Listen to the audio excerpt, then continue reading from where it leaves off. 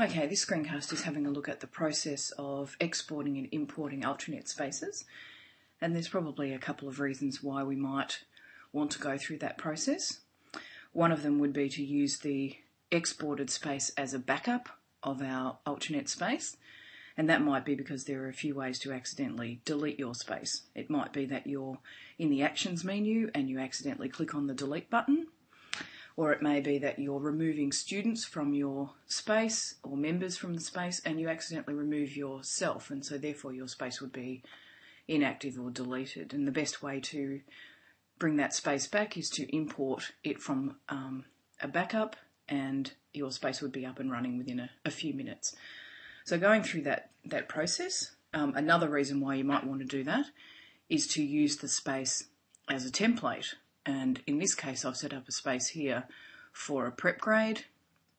It may be, it's got all the pages that it needs, so up the top I've set up the pages, I've put iframes onto each page and some content into those, but it may be that I want to share that with my colleagues and that I would give a copy of the space to each classroom teacher who could then import that space and customise it to their own needs for their own students. So the way to go through that um, export process to go down to the landing page. In this case, it's a collaborative learning space. So I'll click on the collaborative learning icon at the bottom and then I need to scroll up to the top left and the tab in the top that says collaborative learning spaces I own. And that for me will bring up the um, actions menu next to the spaces that I have uh, ownership over. And as I scroll down, I've got this prep space here, and I've actually set it up as an export for people to import and use. So it's actually a private space. All the content is on it that um, I want. It's ready to be exported out as a package for other people to use. So if I go to the Actions menu and scroll up to Manage Pages, I can see that in the top left here I have a tab called Export and Import. So I'll click on that one.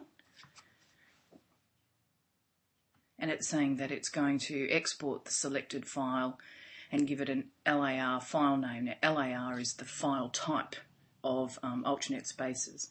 And this is the name it will give it. So, so long as I'm careful to leave the dot .lar at the end, I can actually delete some of the numbers there. So, and leave it with a, a name that makes sense. So prep space dot .lar is a good idea. And then when I scroll down, it asks me what I would like to um, export. And having a look at that, the data is ticked, the way it is set up is ticked, the portlets are going to be exported. That's all the information that I would like. Um, if I had changed the permissions in the space at all, then I would click on the permissions button and then um, there, there are more options. So if I've set up particular applications, I can click those. But in this case, it's a basic setup, so I'm just going to go with what the default settings are and click on the export button. And then this um, process can take a, a couple of minutes, but it will bring up a little window that says it's going to export the space and where would I like to save that. And I'm just saving that to my desktop. So I'll click OK there. and we have um, a dialog box to say that that's been exported. Now those files are actually quite small, so they're able to be emailed to people, or you can just save them on your computer if you like. You could also upload them to a space for your staff to give them access to those um, LAR files. So that's been successful. I'll just return to full page now and go through the process of importing that space. So if I was um, another member of staff and I had received that space, I would have it sitting on my desktop perhaps on a USB drive.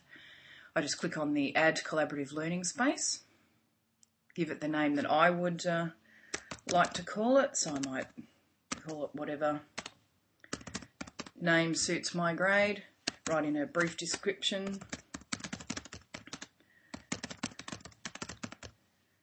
of what they're going to be doing in that. I could uh, tag that, and often the tag is a word that's up the top, so in this case I'll tag it as prep.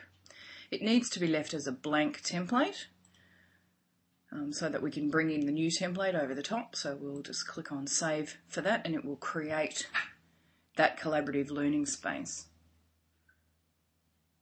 This is the collaborative learning space where I will import that exported prep space we looked at at the beginning.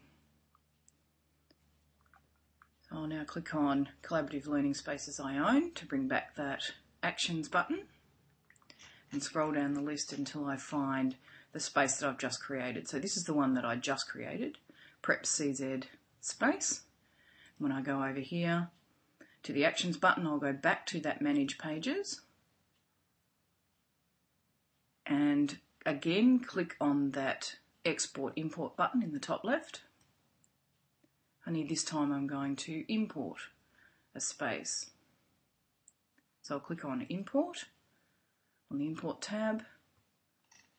It gives me a browse icon which allows me to look through my desktop. There's the space that we saved before, prep space LAR. Click on open. It will put that in there. I'm bringing in all of the same things that are exported. Again, if, if the export had permissions, I'd want to bring those in, so I would tick that box.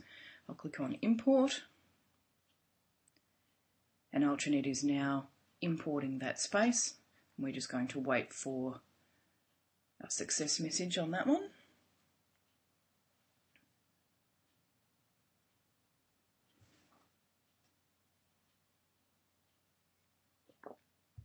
There we go. It's been um, processed successfully. So if we return to full page, we should have our content from the previous space in our new space that we've created. So I'll again click, click on Collaborative Learning Spaces I own. Scroll down my, my list. There's my space called Prep CZ.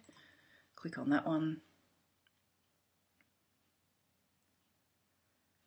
And when I open it up, it should have all of the content that was on the original space.